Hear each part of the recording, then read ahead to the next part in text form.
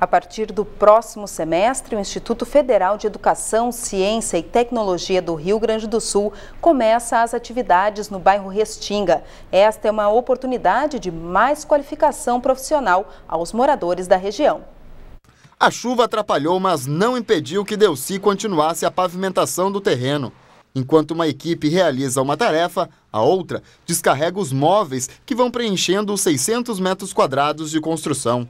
Em agosto deste ano, este espaço, ainda sem nenhuma divisória e tampouco com características de sala de aula, deve ser ocupado por 220 alunos de três cursos técnicos: administração, guia de turismo e informática para a internet.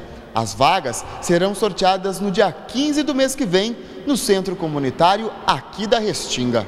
As inscrições podem ser feitas apenas através do site www.restinga.ifrs.edu.br a partir da próxima segunda-feira.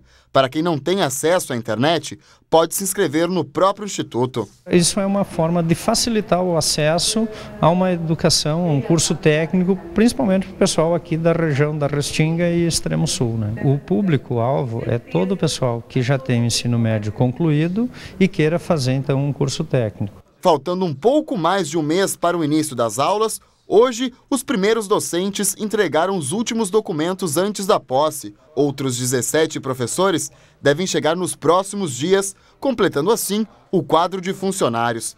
Para este servidor público, o desafio se mistura com a expectativa. É como a gente vai conseguir trabalhar e fazer com que nós formemos um aluno que tenha todas as disciplinas básicas né, e também tenha a sua formação profissional, já que há uma dificuldade, em virtude do crescimento econômico que o país vem passando, de profissionais especializados e qualificados.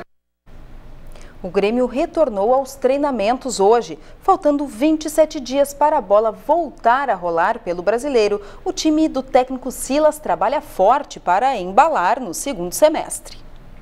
No gramado suplementar do Olímpico, apenas os goleiros. Vitor, Marcelo e companhia correram na volta do campo, que ainda não está liberado para uso total. O resto do grupo rumou para o centro de treinamentos de Eldorado do Sul.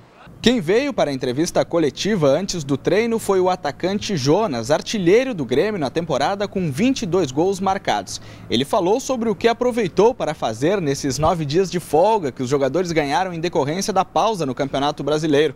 Ele confessou que aproveitou para dormir bastante e, é claro, assistir à Copa do Mundo. Acho que o Robinho foi muito bem nesse, nesse primeiro jogo do Brasil e tomara que o Brasil possa levar não só no título, mas também de jogadores individuais aí no prêmio.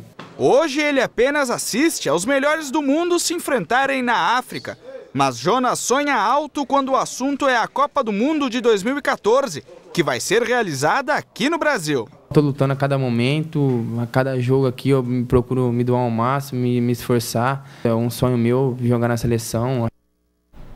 O Inter apresentou agora há pouco o meio-campo Oscar, de 18 anos. Ele rescindiu o contrato com São Paulo na Justiça e assinou com o Colorado por cinco anos. O meia ainda pode ser inscrito na Copa Libertadores da América para a disputa das semifinais da competição.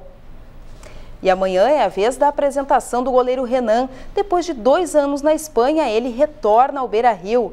E a Comebol confirmou mudança na data do jogo decisivo entre Inter e São Paulo pela semifinal da Libertadores. O segundo confronto no Morumbi vai acontecer no dia 5 de agosto, às 10 para as 10 da noite. O primeiro jogo no Beira Rio continua na mesma data, 28 de julho, também às 10 para as 10. O Ubra Notícias fica por aqui. Nós voltamos amanhã às seis e meia da noite. Até lá!